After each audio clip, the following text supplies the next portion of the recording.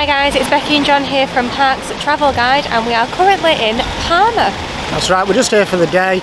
We don't really know where we're going, we're just going to have a walk around, mm-hmm. see what we can find, see what Palma has to offer. Yeah, kill some time before we have to head off to the airport and unfortunately go home. So we're not alone today, we do have two friends with us and two fellow subscribers of Parks Travel Guide. We've got Nathan here, Hi guys. we've got Adele over here. So Nathan, whereabouts are we now? So we're just walking down uh, in towards the old town area where we're going to walk down towards the cathedral and there's some lovely views down there over Palma Harbour and uh, some fantastic scenery. So we're going to go have a walk down there. Lovely little place to walk. Cool, so we will see you there guys. Trying to do me out of a job.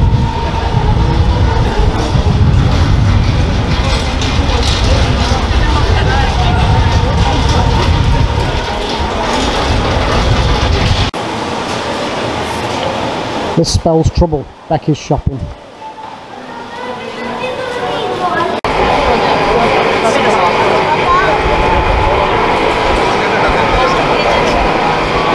So we're just walking down one of these streets now, and it it reminds me of a cross between the old town in Benidorm, one of the side streets, and a bit of Barcelona as well.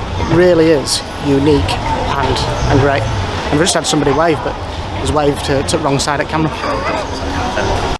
Palma really is a magnificent city. Lots of streets like rabbit runs, holding everything from local shops to big high street chains. It really is difficult to pick a direction to go in, but every street you turn down holds something new.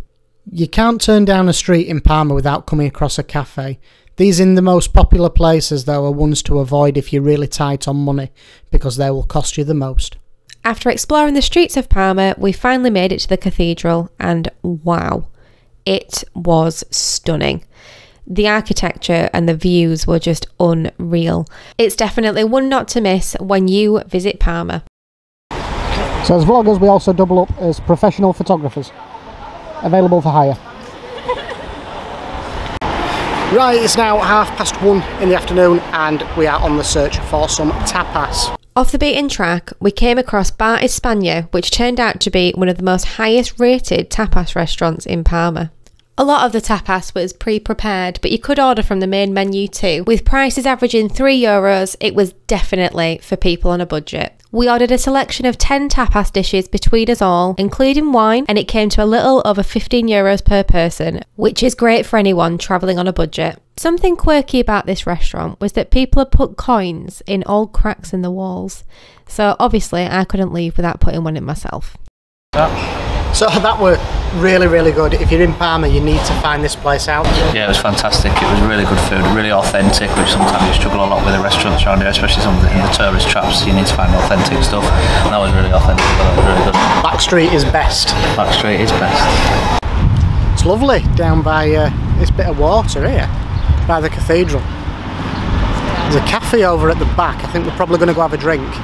Don't know how much it's going to be, but we'll tell you.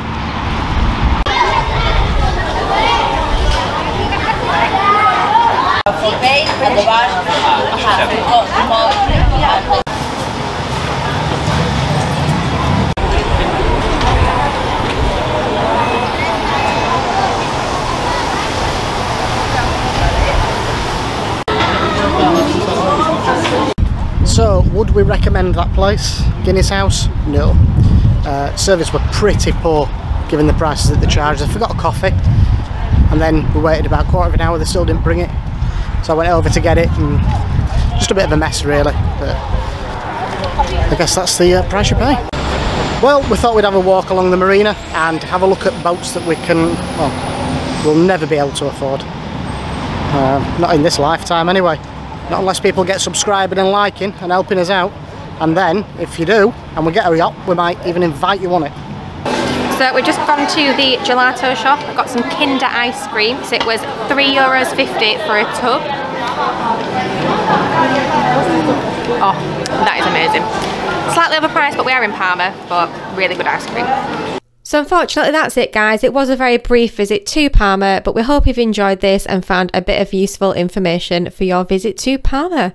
See you next time.